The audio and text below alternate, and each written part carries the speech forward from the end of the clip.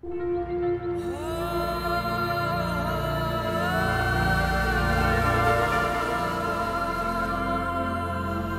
దేశంలో దీన్నెవరూ ఆపలేరు. ఇది తన కాళ్ళపైన మరోసారి నిలబడిపోతుంది. తమ తమ ఇళ్ళలో నుండి కాస్తంత ధైర్యం పుంజుకుని బయలుదేరుతుంది. నా దేశం చూడు మళ్ళీ